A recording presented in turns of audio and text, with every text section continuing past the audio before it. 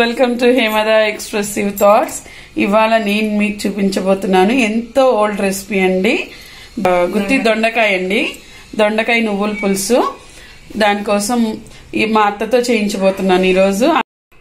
ముందుగా మనం దొండకాయలు తీసుకోవాలండి. దొండకాయలన్నీ కడిగి పెట్టేసుకొని బాగా క్లీన్ చేసేసుకొని చూసారా ఇలా నాలుగు పక్షాలుగా తరిగి పెట్టేసుకోవాలి. నెక్స్ట్ దీనికి మెయిన్గా మనకు కావాల్సినవి పల్లి పప్పులు నువ్వుపప్పు జీలకర్ర కొద్దిగా అండి. ఒక హాఫ్ స్పూన్ జీలకర్ర హాఫ్ స్పూన్ దలియా ధనియాలు ఒక ట్వంటీ మెంతులు అండి. కాల్ స్పూన్లో ఇంకా కొద్దిగా తగ్గించేసి ఒక ఇరవై మెంతులు. తర్వాత రెడ్ చిల్లీస్ అండి. కారానికి తగ్గట్లు ఫ్లేవర్కి తగ్గట్లు వేసుకోవాలి. ఎక్కువగా కారం ఉంటే మనిషికి ఒకటి ఒకటిన్నర లాగా వేసుకోండి. చాలా తక్కువ కారం ఉంటే ఎంతమంది ఉంటే వన్ ఈస్ట్ టూ అంటే ఒక మనిషికి రెండు మిరపకాయలు లాగా పడతాయి. అలా అందాజ్ చూసుకొని వేసుకోండి మెజర్మెంట్ చూసుకునే వాళ్ళు. నెక్స్ట్ నానబెట్టుకున్న చింతగుజ్జు అండి. చింతగుజ్జు నాన్ చింతపండు నానబెట్టేసి పెట్టుకోవాలి. నెక్స్ట్ మనకి స్టోన్ సాల్ట్ బెల్లం కూడా కావాలి. ప్రొసీజర్ చేసేటప్పుడు చూద్దాం మనము. ఇప్పుడు ముందుగా మనము స్టవ్ ముట్టించేసుకుందాము ముందుగా స్టవ్ ముట్టించేసి ఆయిల్ వేసేసుకోవాలి ఇప్పుడు. ముందుగా మనము నూనె పెట్టేసుకొని వేడెక్కిన తర్వాత పోపు దినుసులు వేసేసుకొని కరివేపాకు కూడా వేసుకోవాలండి. వేసుకున్న తర్వాత మనం ఇంగువ వేసేసుకున్నాం కదా ఇంగువ వేసుకున్న తర్వాత మన దొండకాయలు ఆనియన్స్ అన్నీ వేసేసుకోవాలండి. వేసేసుకున్న తర్వాత అలా వేసిన తర్వాత ఒకసారి మనము బాగా కుదించుకోవాలండి. ఆయిల్ ఆయిల్ అంతా పట్టేలాగా దొండకాయలు ఒకసారి అలా అనేసుకొని ఇప్పుడు ఒక గ్లాస్ వాటర్ వేసేసుకోవాలి వాటర్ వేసి కొద్దిగా వాటర్ వేసి ఇప్పుడు బాగా మనము ఉడికించుకోవాలి దొండకాయలన్నీ.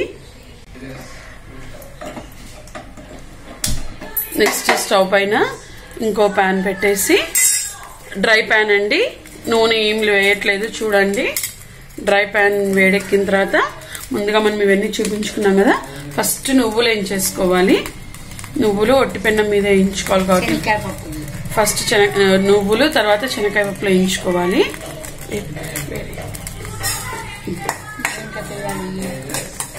నువ్వులు బాగా వేగిపోవాలి ఇప్పుడు.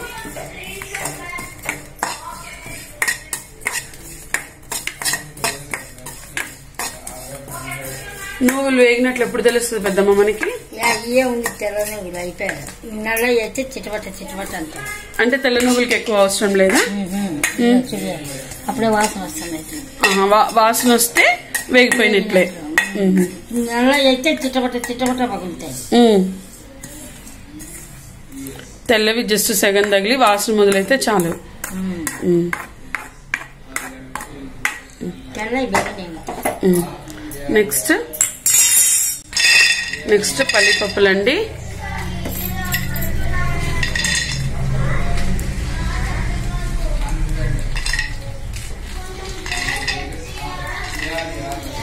ఎండుకర పకారు కొద్దిగా డ్రై కరివేపాకు వేయాలంటండి. ఈ పల్లిపప్పులు ఇప్పుడు బాగా వేగిపోవాలి. మనకి ఎప్పుడు తెలుస్తుంది పెద్దమ్మ? పప్పులు వేగినట్లు బాగా. కలర్ వచ్చేస్తాగా. ఇంకా తోలు కూడా ఉడుతుంది కదా? ఉమ్. ఊడుతుంది సరే బాగా కలర్ వచ్చేస్తాయి. బాగా ఇలా కలుపుతూనే ఉండాలండి. స్టవ్ హైలో ఉంది కాబట్టి మనం కలుపుతూనే ఉండాలి. లేదంటే మాడిపోయే ఛాన్సెస్ ఉంటాయి. వేయగల కొంచెం? పచ్చిగా. ఆ పప్పు కూడా కలర్ రావాలా బాగా పెద్దమ్మ? ఆ, వేగినట్టు ఆ పప్పు బాగా కలర్ వస్తే వేగినట్లు అనమాట చూసారు కదండి మన పప్పు? పప్పు మొత్తం నలిపితే? అలా ఎర్రగా వచ్చినప్పుడు బాగా వేగిపోయినట్లండి అది. ఇప్పుడు ఒక్క స్పూన్ ఆయిల్ వేయాలండి. మిగతా వేయించుకోవాలి కదా వాటి కోసం. ఒక స్పూన్ ఆయిల్ వేసేసి నెక్స్ట్ ధనియాలు మెంతులు జీలకర్ర కొద్దిగా ఏం పెద్దమ్మా?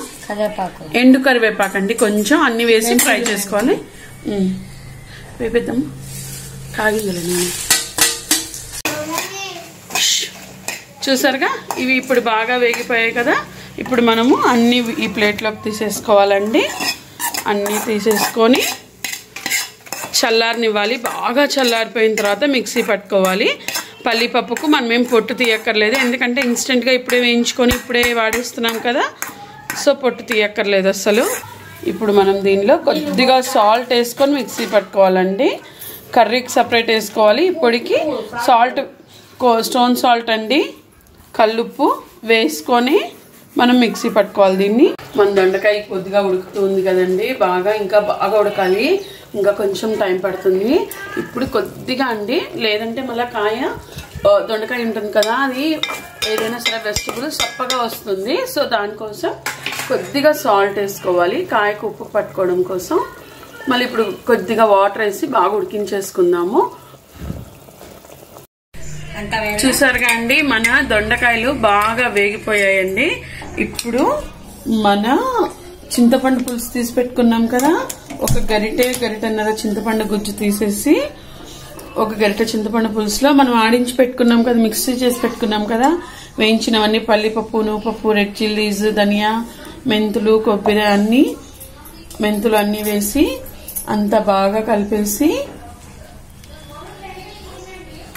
ఇప్పుడు చూడండి అంతా బాగా కలిపేసి బెల్లం కూడా అండి ఒక టూ స్పూన్స్ బెల్లం అండి వేసేయాలి.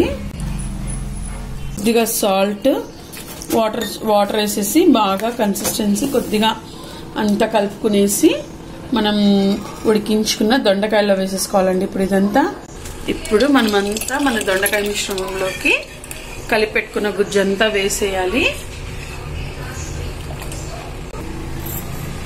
ఇప్పుడు మన కన్సిస్టెన్సీ చెక్ చేసుకోవాలండి. ఇలా వేసుకున్న తర్వాత ఒకసారి అంతా బాగా కలిపేసుకొని మళ్ళీ మొత్తం. మనం ఇప్పుడు మళ్ళీ మూత పెట్టేసుకోవాలండి. మూత పెట్టేసుకొని అది బాగా దగ్గర పడిపోవాలి. అలా ఒక five minute five to ten minutes ఉడికించుకోవాలి. చూసారుగా అండి? మన దొండకాయ నువ్వుల పులుసు అండి దొండకాయ నువ్వుల పులుసు రెడీ టు సర్వ్ అండి.